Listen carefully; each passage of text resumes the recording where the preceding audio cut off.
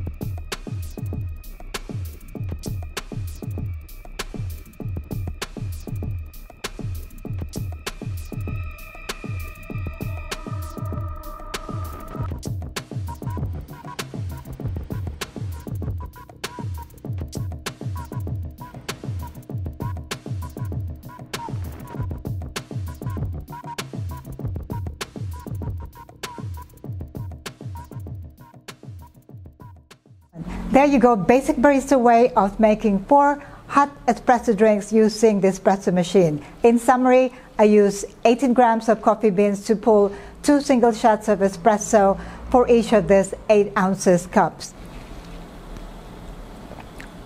My latte is so smooth, perfect. And my mocha, mmm, that is absolutely decadent my Americano. Mm. That is very, very smooth. The trick to this is pulling the perfect espresso shot. And my cappuccino. Mm. Everything is perfect. This is absolutely delicious.